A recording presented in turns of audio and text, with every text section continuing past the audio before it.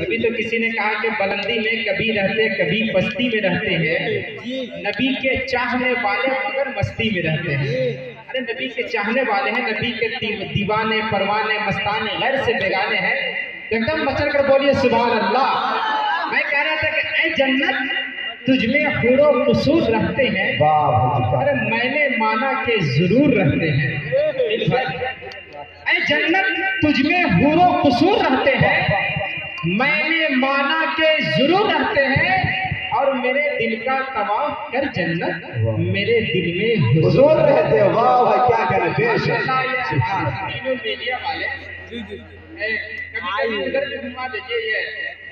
क्या नाम है? UBS Mushaira media. Al Bashar network और जनाब अकील गौहर। मुशायरा मीडिया। और जनाबे इनका नाम भी जहन में नहीं आ रहा है लेकिन इनके एम मुशायरा मीडिया हमारे हमारे हज़रत रफीक साहब काफ़ी मेहनत के साथ पूरे प्रोग्राम को अपने कैमरे में कैद कर रहे हैं। अच्छा एक मरतबा एक शेर कहूँगा, तब पीछे देख, पीछे अपना कैमरे को घुमाइएगा। अभी नहीं, देखते हैं कि ये लोग कितना मतलब साथ देते हैं। एक मतलब बोलिए बचकर सुबह अल्लाह। मैं अर्ज़ कर रहा था हमारे मिनहाज भाई भी तशरीफ़ ले आए हैं कहीं चले गए थे। मैं यही कह रहा था कि जन्नत तुझमें हूर कसूर रहते हैं। मैंने माना कि ज़रूर रहते हैं और मेरे दिल का तमाम कर जन्नत मेरे दिल में हुजूर रहते हैं। कभी शेर कभी शेर को किसी शायर ने सुना तो वो वो बिना झिझक बिना अटक कह पड़ा कि बन के आँखों में नूर रहते हैं। भली वालों बन के आँखों में नूर रहते हैं अरे बन के दिल में सुरूर रहते हैं और मेरा दिल ही काबा और मदीना है मेरे दिल में हुजूर अरे मेरा दिल ही काबा और मदीना है मेरे दिल में हुजूर रहते हैं। एक बार और बोलिए मैं चलकर सुबह अल्लाह। एक बार अपने माँ बाप के नाम पर बोलिए सुबह अल्लाह। कितने लोग सो रहे हैं? हाथ उठाकर बोलिए। नहीं सो रहे हैं। जी। जो लोग नहीं सो रहे वो मचल कर बोलिए सुबह इसलिए सारी दुनिया को नींद आ गई उनका दीवाना बेदार है। आप ही फैसला कीजिए कौन जन्नत का तो माशाल्लाह सभी दीवाने परवाने बेदार है। तो इसमें कुछ कहने की ज़रूरत नहीं है।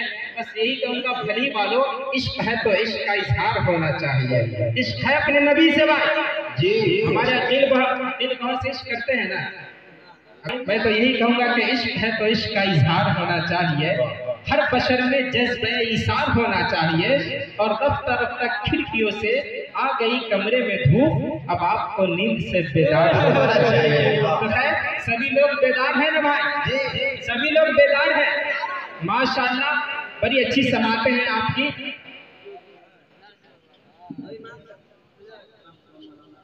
मौलाना सोए हुए थे करीब करीब खाना पीना खा कर आराम कर रहे थे।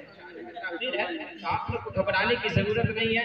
हमारे पीछे कुछ नौजवान, कुछ बूढ़े हजरात कुछ बच्चे बैठे हुए हैं। मैं कोशिश करूँगा कि जब तक हज़रत वाला तशरीफ़ ला रहे हैं, मैं आपको डिस्टर्ब न करूँ। आप धीरे धीरे लगे तो कुर्सी लेकर, लगे तो छोड़कर आ जाइए। आगे कुर्सियाँ खाली है। आप पीछे बैठे हुए हैं। हज़रत वाला तशरीफ़ लाएँगे। तो क्या कहेंगे? कि कुछ लोग इधर है, कुछ उधर है, कुछ पीछे हैं। ये अच्छा नहीं लग रहा है। मैं आपसे बड़े अदब और एहतराम के साथ कहता हूँ कि आप लोग आगे आ जाइए, कुर्सी लेकर आ जाइए।